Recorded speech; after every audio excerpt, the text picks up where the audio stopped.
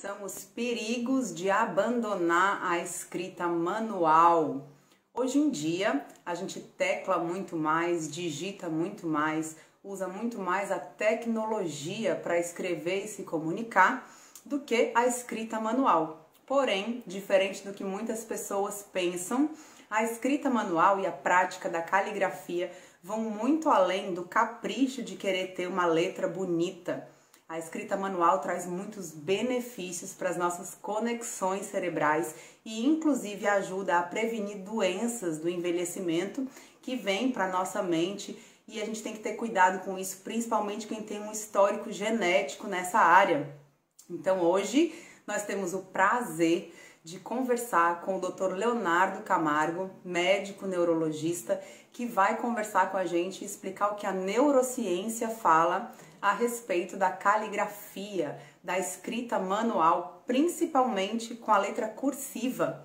Enquanto ele vai aceitando aqui o nosso convite, gente, eu quero apresentá-lo. Dr. Leonardo Camargo é médico neurologista.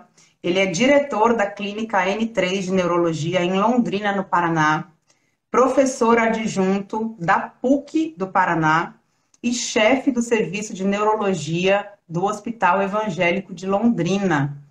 Então, sabe tudo aí sobre cérebro, muito conhecimento maravilhoso para agregar a gente nessa noite.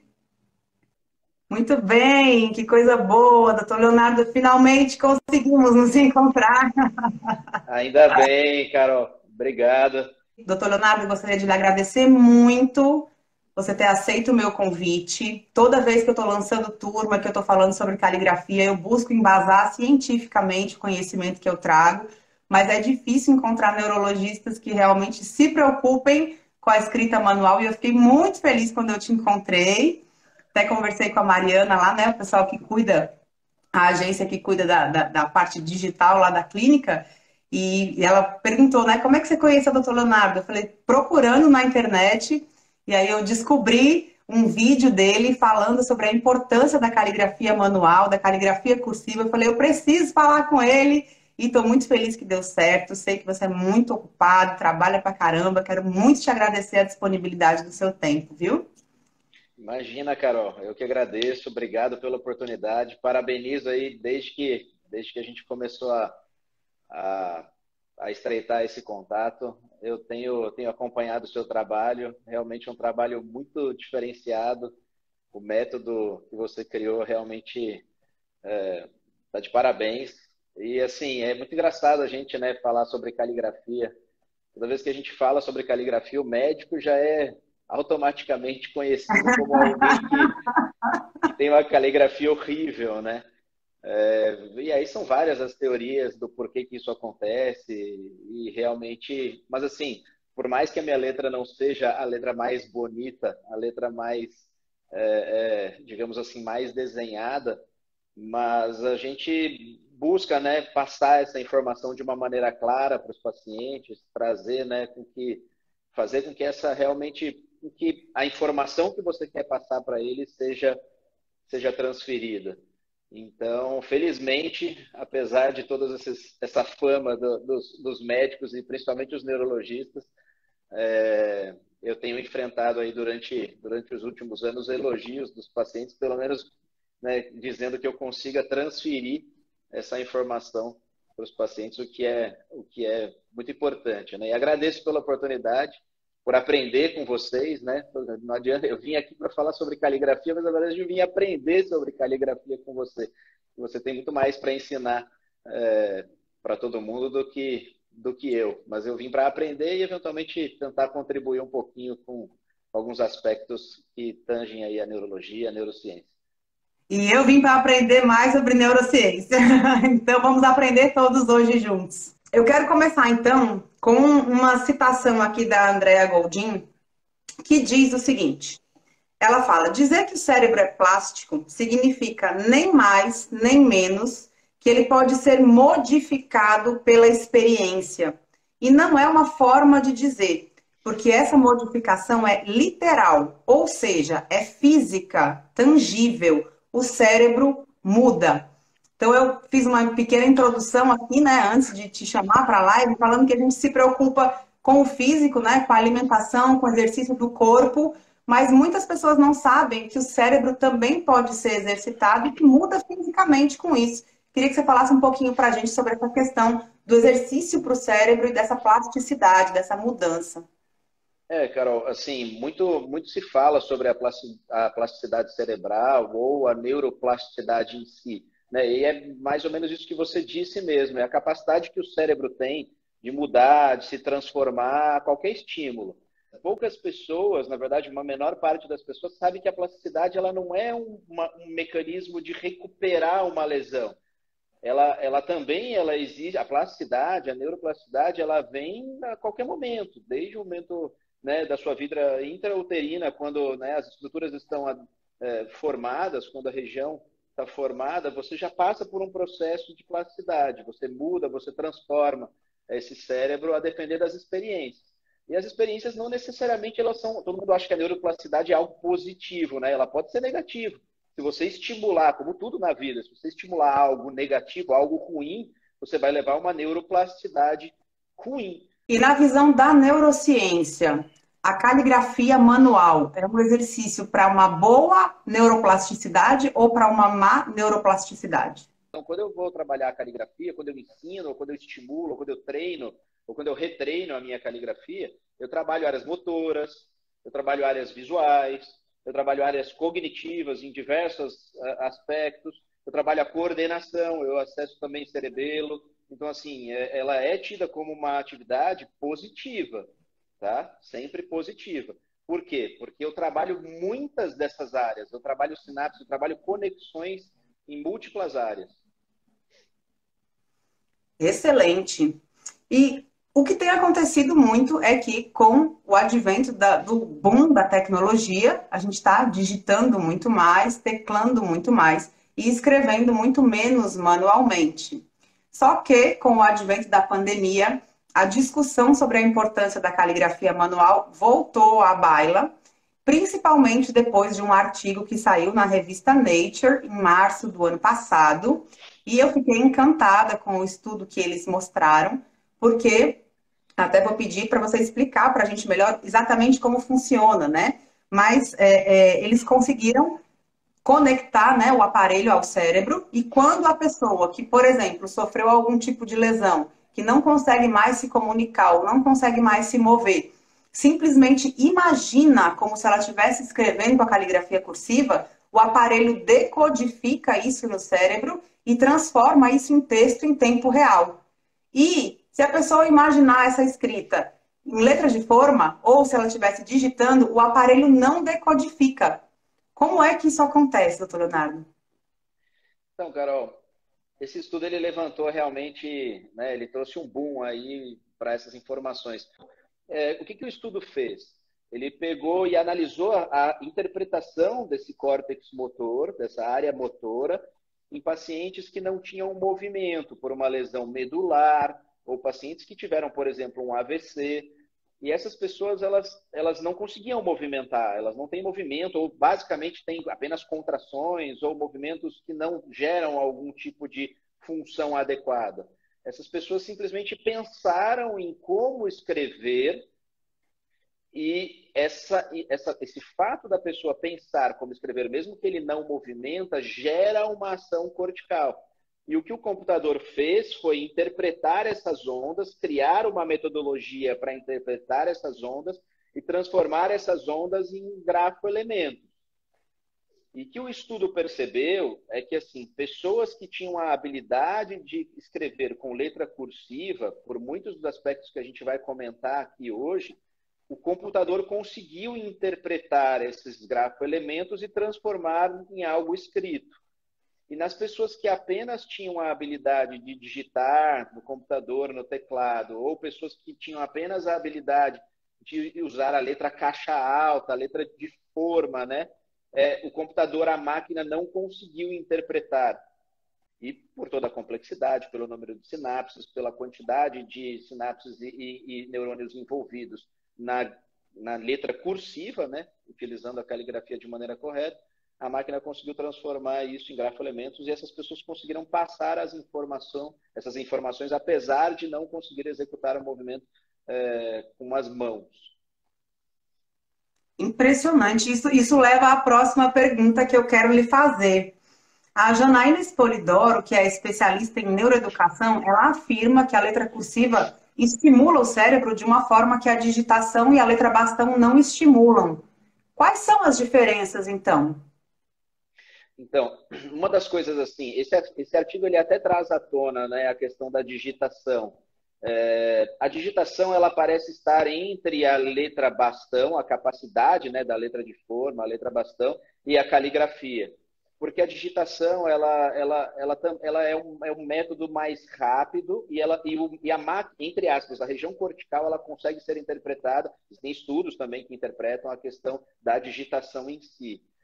Então, para tirar esse filtro, digamos, né, a digitação ela pode realmente é, participar e ter algum tipo de benefício.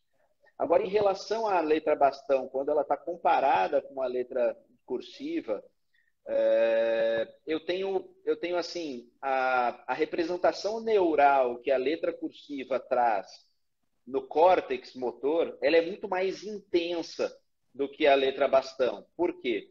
Porque ela é muito mais trabalhada. Eu dependo de várias outras conexões, eu dependo de várias outras sinapses, de várias outras comunicações entre os neurônios e diversas áreas para que eu consiga executar a letra cursiva.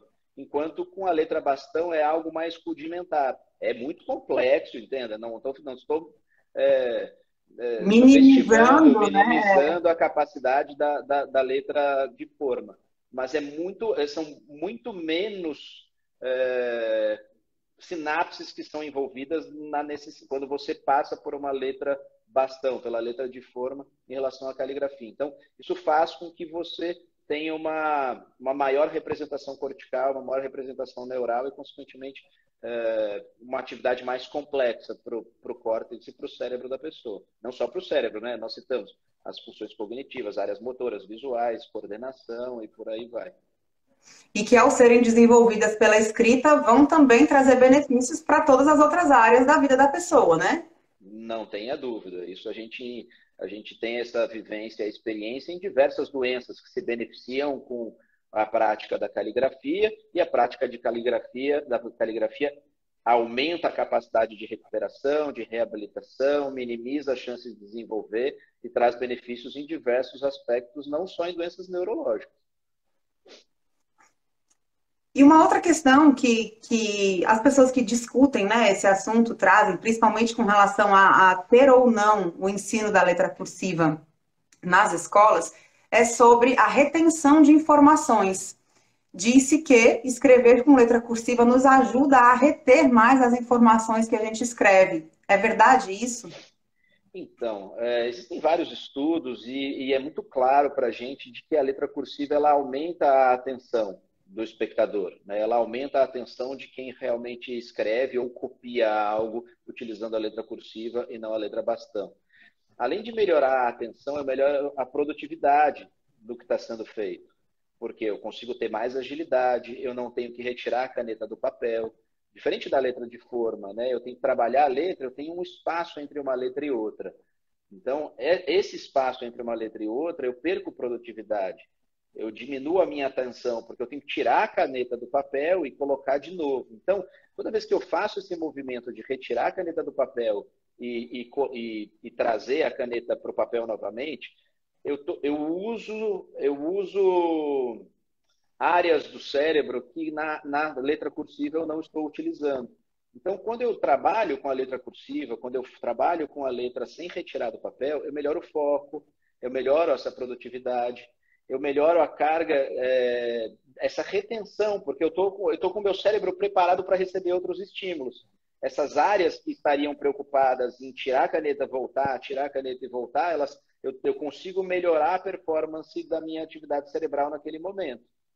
Então, assim, é, o fato de se, de, se, de se executar o traçado exatamente da mesma maneira, as palavras e as letras em si, é, ele, ele, contribui realmente para a formação da memória. Então, assim, é, o fato de se trabalhar é, é, é a letra cursiva eu vou trabalhar mais psicomotricidade fina. Quando eu, eu trabalho mais, é mais difícil você escrever com a letra é, é, é, com a letra cursiva. Então, isso trabalha mais sinapses. E essa recorrência dos movimentos também que são feitos é, de maneira, de maneira recorrente, ou que você treina e que você aprende, ela fixa a forma ortográfica no cérebro. Né? A ortografia seria o conjunto das regras gramaticais que levam à grafia correta das palavras. Então, também existem estudos que demonstram que a letra cursiva ela fixa a forma ortográfica dessas palavras né, no cérebro. E, consequentemente, isso leva a uma melhora de performance, melhora da fixação, melhora da memória, melhora do foco, por aí vai. E que hoje em dia, com os corretores ortográficos, né, da, da, das digitações, né, a gente vai colocar duas letras no celular, ele já completa a palavra, né? É muito importante ter algo que nos ajude a manter uma boa ortografia, né? Porque eu vejo muitas crianças e adolescentes escrevendo que já nem colocam palavras completas mais quando escrevem, né? E isso é um prejuízo grande para a criançada, né? Não tenha dúvida. Além dos corretores ortográficos, às vezes nos colocarem em situações indesejadas. Né? Todo mundo já passou por essa situação. Então a gente tem que saber realmente por quê. Porque quando eu dependo da minha escrita, quando eu estou numa entrevista de emprego, quando eu, tô fazendo, quando eu faço uma prova, quando eu vou ao vestibular, quando eu tenho uma redação, é, quando eu tenho que escrever uma receita, quando eu escrever uma carta de amor, que seja, eu tenho que saber uhum. passar a informação. Não adianta eu, eu, eu, eu passar uma, uma, uma, informação de maneira incorreta. Isso pode falar muito contra e, eventualmente, me tira a oportunidade de, de atingir aquele meu objetivo. Né? Mas o ideal é que a gente estimule, sim. E eu tenho que estimular a letra cursiva, por quê? Porque, simultaneamente, quando eu trago a letra cursiva dentro dessa escrita, e quando eu passo pela construção das frases, eu vou estimular a sintaxe, eu vou estimular a semântica, eu estimulo outras coisas que a letra de forma eventualmente me trazem uma certa dificuldade.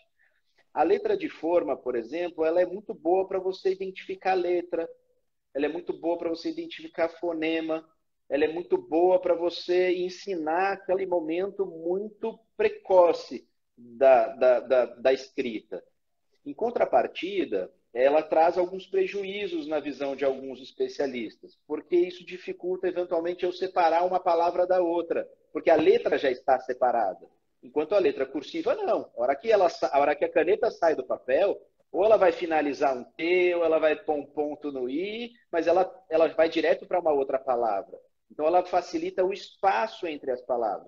Então, cada letra tem o seu pró, cada, cada, cada tipo de escrita tem os seus prós e tem os seus contras. Entra, entra no, no, no próximo ponto aqui. Que mesmo a gente tendo a tecnologia como uma forte aliada, né? E a escrita cursiva, então, não sendo mais necessária, porque os nossos impressos e todo o material que a gente encontra na internet são em letra de forma ou em letra de imprensa, né?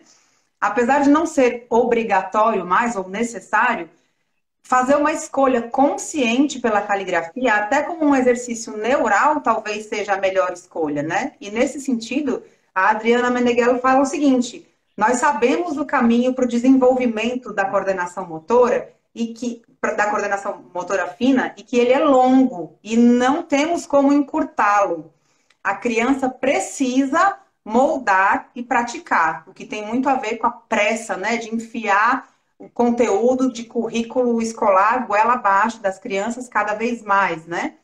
Então ela fala que a segmentação clara entre as palavras é muito importante, a diferenciação do uso entre maiúsculas e minúsculas que tem na letra cursiva também é importante, porque são detalhes que criam memória e que desenvolvem a psicomotricidade, que é justamente a integração entre os aspectos emocionais físicos e cognitivos da criança, né? Então, a escrita cursiva juntaria isso. As pessoas olham para a escrita como puramente um ato motor, quando na verdade ele é psicomotor e ele está integrando questões também emocionais junto com ele, né?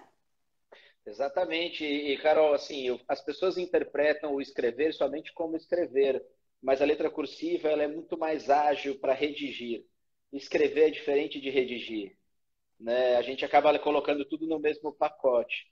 Mas quando eu trabalho a, a caligrafia, quando eu trabalho a letra cursiva, é, e, e, nada tem de ruim trabalhar a letra de forma também, mas, mas eu melhoro a redação, eu melhoro a velocidade, eu melhoro a eficiência, eu melhoro o foco, Eu melhoro, então, eu trago aspectos de melhoria em qualquer atividade que eu quiser, desde que assim, desde que a minha letra seja legível posteriormente, ou por mim mesmo, ou por terceiros.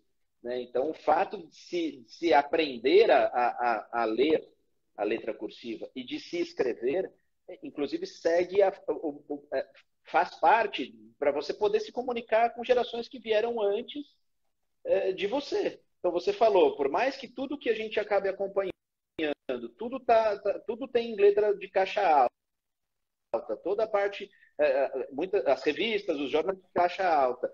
Mas quando eu pego um texto antigo, quando eu pego uma carta do meu avô, quando eu pego um texto muito antigo, se eu não sei entender aquele grafo elemento cursivo, eu não vou conseguir interpretar o texto.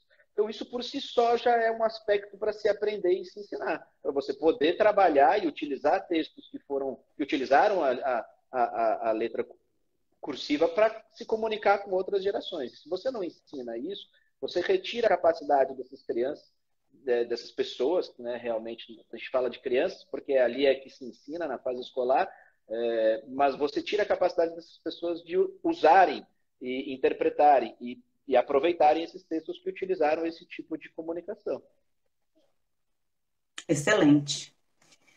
Doutor Leonardo, já é comprovado né, que as crianças que aprendem a letra cursiva, independente do ponto da alfabetização, se é na primeira infância, se é depois da letra de forma, seja lá o que for, como a busca de resultados é neural e não necessariamente da alfabetização, elas apresentam melhores resultados escolares, né?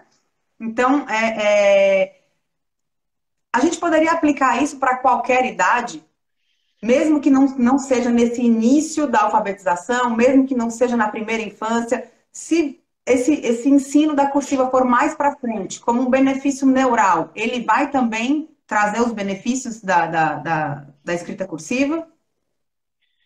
Carol, assim, com certeza, né? A qualquer momento, a qual, qualquer idade é um momento para você aprender algo de diferente.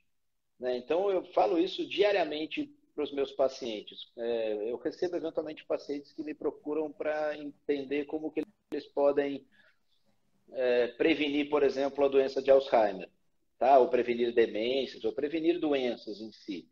Então, é, uma das coisas que a gente tem que ensinar e que a gente mesmo tem que executar isso diariamente é que aprender algo de novo, aprender algo de diferente, permitir que a nossa neuroplasticidade continue seguindo por um caminho adequado, positivo e não negativo, é, é sempre algo positivo, é sempre algo que vai benefício em relação a quem não faz essa atividade. Né? Isso aumenta a nossa capacidade, aumenta a quantidade de sinapses e, consequentemente, isso é, vai formando redes neurais mais robustas, mais complexas, e quando a gente fala sobre a, a, a escrita em si, né, a linguagem escrita, eu trabalho muito mais isso com a caligrafia do que com a caixa alta. Então, se eu tiver que ensinar alguém, é, independente da idade, a escrever, talvez essa pessoa tenha mais dificuldade do que uma criança de aprender a letra cursiva. Mas eu não tenho que desistir. Eu vou começar com a caixa alta e eu depois tenho que ofertar também a capacidade de passar para a letra cursiva. Por quê? Porque os benefícios que isso trará para essa pessoa no futuro é, são maiores, desde que essa pessoa acredite nisso, concorde com isso e queira fazer. Né? Então não adianta a gente forçar como era antigamente. Antigamente se forçava as crianças a escreverem com a mão direita, né? Não se permitia, eles amarravam a mão esquerda da criança, né? Então, a criança assim, apanhava, ela... né? Tinha palmatória para que ela não escrevesse com a mão esquerda, né? Que era com errado. a mão errada, né? Exatamente. Com a mão errada, exato. Então, a qualquer momento é momento de se aprender. Né? E, a, e, o envelhecimento da paixão tem feito com que pessoas passem a aprender, pessoas que trabalharam em, em atividades que, que, precisavam ajudar a sustentar suas casas, que não tiveram a oportunidade de se alfabetizar. É, eu tenho diversos pacientes que, que vão aprender a escrever com mais de 60, 70, 80 anos, por vontade própria. Então, hoje eu sinto que falta, talvez, na formação dos professores conhecimento e recursos adequados de como trabalhar isso. Parece que a caligrafia virou assim, ah, é uma obrigação, você tem que saber ler e escrever, tchau, ninguém fala mais nisso, né?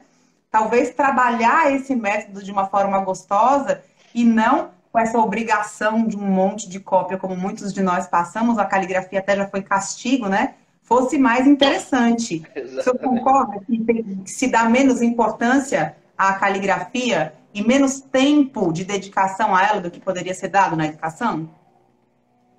Então, quando eu trabalho essa questão da inclusão, é mais fácil eu tirar a caligrafia do que deixar o aluno que tem dificuldade perto do professor. É mais fácil a caligrafia do que o professor ter mais trabalho ensinando, é, entre aspas, né? Mais trabalho não, porque é o trabalho dele. Ter, ter trabalho ensinando essa criança de uma maneira melhor. Dá mais trabalho tirar a caligrafia do que tirar. Então é simples, tira-se a caligrafia. Exclui isso do ensino é, é, é, dá mais trabalho você manter isso dentro da, da, da, do ensino. Então, assim, é uma questão que eu não vejo sentido em se fazer isso. Porque só quem vê uma criança, quando um adulto, quando conquista aquela meta de conseguir escrever o próprio nome com a letra cursiva, ou de escrever uma palavra com a letra cursiva, de que realmente ela é capaz, ele é capaz de executar aquela função que é muito difícil para quem não faz, é, sabe qual é a importância disso no futuro. Então, é, o que eu queria trazer para você é assim: a gente tem que estimular a formação, a gente tem que estimular a conscientização é, de, de, dos, dos, professores. É, tem, você tem que respeitar é, é, a, a, escrita cursiva. Você não precisa fazer como antigamente, que se gastava 50%, 60%, 70% do tempo com a letra cursiva. Não, gaste 10%, gaste 15, né? E trabalha o restante. Por quê? Porque os benefícios da letra cursiva, eles são ímpares. E você não encontra isso nas outras. Ah, mas não sou eu que digo, isso está provado. Isso tem prova de que não traz o benefício. E que se a pessoa se ela tiver realmente esse treino, ela terá benefícios lá na frente, independente de qual ele seja. Então, é, é, eu tenho que trabalhar os, com os formadores de opinião, eu tenho que trabalhar essa conscientização com os professores, com os educadores, de quais são as vantagens e as desvantagens. Mas, enfim, vamos de trabalho de formiguinha, né? Um pouquinho de cada vez e, e a gente chega lá. Doutor Leonardo, uma, uma, outra prova da importância da escrita cursiva é o resultado do PISA, né? Do Programa Internacional de Avaliação de Alunos. E ela é feita aos 15 anos, que é mais ou menos a idade média do fim do, do, do estudo obrigatório no mundo. E ele já demonstrou que a não utilização da letra cursiva piorou o desempenho dos alunos na interpretação de texto.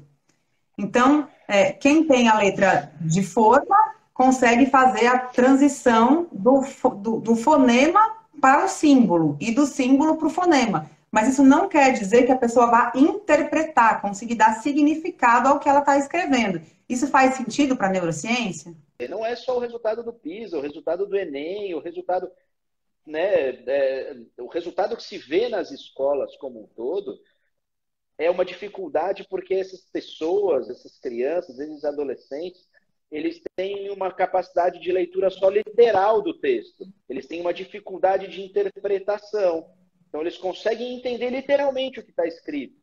Mas quem domina a letra cursiva, eles vão além. Eles conseguem ter uma, uma interpretação melhor do texto. Isso está mais do que comprovado. Isso traz esses prejuízos né, que nós vemos hoje com essa dificuldade. Ah, mas então, texto. Vamos, a gente, vamos voltar de novo na dislexia. Então, assim, obviamente, alguém que é disléxico, tenho que evitar é, uma questão escrita, digamos assim, uma questão discursiva, uma questão que utilize ele, essas crianças, elas mais comprovadamente, essas pessoas mais comprovadamente, eu falo crianças, mas adultos também, obviamente, têm mais facilidade com questão de teste, por exemplo, né?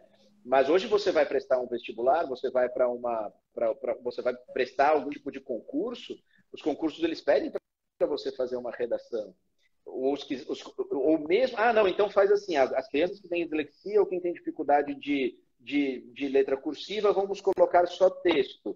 Então, vamos colocar só teste, prova de teste, múltipla escolha. Mas a interpretação do texto que está no enunciado, ela é muito mais avançada em quem tem a capacidade de leitura cursiva, independente se ela está escrita com letra de caixa alta.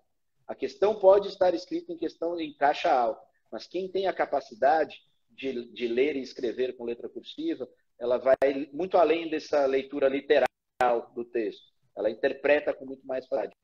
A gente falou mais nas crianças, né, nos adolescentes, na, nas, nas, professoras, no estímulo à, à, à caligrafia cursiva durante a alfabetização, mas tanto nos resultados pessoais, né? Na minha vida, que sou calígrafa há mais de 25 anos, então eu escrevo muito com letra cursiva, talvez até demais, né? Pelo que você falou hoje, eu falei, gente, será que eu estou na, na, turma da estafa? Mas eu vejo tanto em mim como em milhares de alunos é, um resultado muito benéfico também pela prática da caligrafia cursiva. É, segundo a neurociência, ela continua sendo benéfica durante a idade adulta? Sem dúvida, independente da idade. Independente da idade, Carol. É, isso vai trazer um aumento da velocidade, um aumento da eficiência. É, então, assim, independente do tempo que você pode aprender, é, que você pode aprender ou ensinar, independente, ela é sempre vantajosa para qualquer faixa etária. Mais uma vez, desde que a pessoa queira aprender, né? forçar esse aprendizado, ele não tem benefício. Excelente. Doutor Leonardo, como é que a prática da escrita cursiva é, funciona na prevenção de doenças mentais que surgem com o envelhecimento?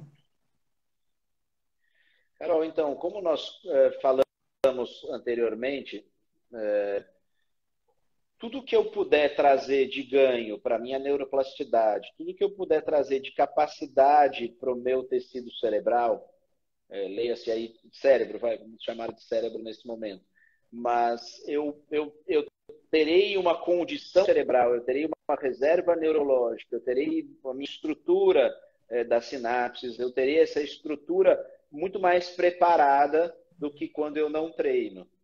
Então, toda vez que eu trabalho diversos aspectos, então, quando eu trabalho, por exemplo, a caligrafia, eu não estou trabalhando só a função motora, estou trabalhando a função visual, eu estou trabalhando a função cognitiva. Então, eu, eu, eu tenho que, eu estou trabalhando a, a, coordenação, todas essas sinapses e essas conexões, elas deixam aquele tecido cerebral mais ativo. E o fato de você manter essas sinapses, de você manter essa, essa atividade cortical mais ativa, ela está relacionada a uma redução no desenvolvimento de doenças. É, a gente, eu tenho estudos que demonstram que essa atividade reduz demências, que ela não, ela, ela não, ela não traz uma prevenção muito clara, mas ela evita, ela diminui a incidência. Isso, com certeza, é, tem um benefício na prevenção e no melhor desfecho de quem desenvolve a doença, né? Porque quando se fala muito em prevenção, a gente consegue prevenir até um certo ponto mas é, é, eu vou desenvolver alguma condição de saúde em algum momento. E quem tem esse treinamento e essa qualidade terá um melhor desfecho, melhor prognóstico futuramente. Em que idade que é bom começar esses treinos? Por exemplo, alguém que, que tem esse, essa, esse histórico familiar. Existe uma idade limite? Ah, se eu começar a treinar caligrafia aos 30 anos, aos 40, eu ainda consigo esse benefício. Ou se eu começar aos 50, aos 60, independente da idade que eu começar, é, vai ser válido. Existe, assim, uma, uma idade ideal para que, que as pessoas comecem esse treino no, no sentido de prevenção de doenças mentais? Carol, independente da idade que a gente optar por trazer algum tipo de prevenção para a nossa vida, ela é vantajosa. Tá? Toda vez que eu faço algo de ruim para o meu organismo e eu deixo de fazer, é, isso é bom para o seu organismo. Por mais que isso possa demorar para fazer um efeito no desenvolvimento de uma doença ou influenciar no prognóstico. Então, a qualquer momento, a qualquer idade que as pessoas partirem para o aprendizado da caligrafia, isso é vantajoso, não tenha dúvida. Mas quanto mais tempo você mantiver o seu organismo com aquela atividade, melhor. Né? Então, quanto mais cedo e de maneira mais precoce você puder introduzir, melhor. Por isso se discute introduzir ainda na fase escolar das crianças. Mas, independente do momento, se, é, é se eu introduzo a, a técnica da caligrafia, eu trago benefícios para esse cérebro, eu trago benefícios para essas conexões, para essas sinapses, eu aumento a integração da comunicação entre esses diversos é, setores visual, motor, coordenação, é, memória, planejamento, construção, noção visoespacial. Eu vou trazer esse estímulo independente do momento. Óbvio, cérebros mais capacitados, com uma melhor reserva, que estão mais preservados, que têm menos doença, eles se beneficiarão mais do que outros outros cérebros que já passam por uma condição é, prejudicial para esse desenvolvimento. Mas independente de qualquer outra coisa, é um aprendizado de uma atividade nova. E isso sempre traz benefícios para essas sinapses, para essas conexões, para o aumento da atividade cortical e que integra todas as atividades.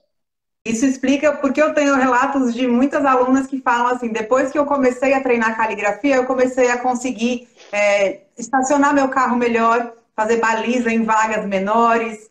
Eu passei a ter mais organização com o meu guarda-roupa, porque é, me dá uma sensação de estar com, com a escrita organizada, eu tenho vontade de organizar as coisas do lado de fora. Meu bordado ficou melhor. Eu tenho vários relatos de coisas que parecem que não estão correlacionadas, mas que tem tudo a ver em pessoas que começaram a treinar depois de 40, 50, 60 anos, né? Então, é, corrobora aí com o que você está nos trazendo. Doutor Leonardo, vamos agora às perguntas que o pessoal colocou mais cedo já, certo? É, sobre as dúvidas com relação a desenvolvimento cerebral e escrita. A Ana Janete perguntou o seguinte: Estou em fase de aposentadoria e amo escrever. Sou preguiçosa para começar algo, mas sei que depende de mim. Alguma dica? Depois que começa, melhora a preguiça, Leonardo? Melhor, como qualquer outra coisa. Né? Mas foi aquilo que eu te falei, você tem que gostar. Se o fato dessa pessoa já tem é, a, o intuito, já tem a vontade, já é o caminho andado né? Porque você tentar fazer alguma atividade ou, ou, ou tentar de, é, de, maneira forçada fazer algo é muito ruim. Então, assim, como toda atividade, começar é sempre mais difícil. Sair da inércia, né? sair daquele, daquela, daquele momento de não fazer aquela atividade é muito difícil. Mas depois que se começa algo, se pega gosto por aquilo, fica muito mais fácil. É, a Solange Cristina perguntou: por que a minha escrita muda? Eu percebo que no período da manhã é muito trêmula e à tarde melhora. Essa é uma boa pergunta. Né? Então, assim, nós sabemos que, eventualmente, algumas pessoas elas dependem da capacidade, a, a capacidade motora fina, é, ela, não, ela não é por si só, sozinha, responsável por, pela escrita. Eu dependo da minha atenção, eu dependo do meu posicionamento, eu dependo. Né? Então, muito se fala sobre a caligrafia, do posicionamento correto, da forma de se escrever a caneta. Então, muitas pessoas é, passam por uma mudança desse processo e isso pode inferir, eventualmente, até algumas doenças. Então, assim, sabe-se que pessoas que têm, por exemplo, a apneia obstrutiva do sono, é, que tem uma qualidade, quantidade de sono ruim, elas no período da manhã, por uma questão toda complexa que envolve a doença, elas passam por um momento maior de desatenção, assim como outras pessoas que têm outras doenças relacionadas ao sono, quem tem insônia, bom, basicamente alguma condição que faça você estar mais desatento no período da manhã. O fato de você não se alimentar de maneira que está mais desatento no período da manhã. E a letra cursiva, ela, ela, ela tanto ela estimula essas áreas, como ela também exige dessas áreas quando você precisa executar. Então, se tiver com alguma dessas áreas, ou cognitivas, ou, ou eventualmente visuais, mas mais do ponto de vista funções corticais superiores, né, que envolvem ali mais as funções cognitivas em si, você vai passar por um prejuízo nesse período da manhã, que você está mais desatento em relação à sua qualidade da escrita, ela muda. Quando você passa para o período da tarde, onde sua atenção já está melhor, onde você já passa por uma melhora daquele processo, isso pode realmente trazer essa mudança nesse momento. Nós sabemos que tem doenças também que você piora a escrita do, com o passar do dia. Você tem fadiga, você piora a atenção com o passar do momento do dia, seja por fraqueza, seja por uma dificuldade visual, seja por uma dificuldade da própria atenção, que vai piorar ali naquele momento é, da tarde, por um cansaço, por fadiga. Então, tanto pode melhorar quanto mudar. E, essa, e, a, e a nossa letra ela muda com o passar do tempo. Né? Ela muda com o passar da vida e não só com o passar do dia. Excelente. O professor Hércules perguntou: é importante o aluno aprender o traçado da letra? Eu, eu entendo que a pergunta dele é assim: é, é, importante que seja ensinado o caminho exato, né, de como traçar a letra cursiva? Ou essa escrita deve ser mais livre, deixar que cada um desenvolva a letra do seu jeito? Então, Carol, um dos principais objetivos da, da, da linguagem, seja ela dita, é a comunicação. Né? Então, se você não ensinar a grafia correta, se você não ensinar correto para aquela pessoa, ela pode até conseguir, conseguir se comunicar com os outros. E o objetivo da linguagem é a comunicação. Né? Então, se você não ensina a maneira correta de se escrever, essa pessoa vai ganhar a, a, a, a, escrita por letra cursiva? Sim, mas ela pode não conseguir se comunicar com as pessoas. E é muito frequente, inclusive, essa própria pessoa entender o que ela escreveu.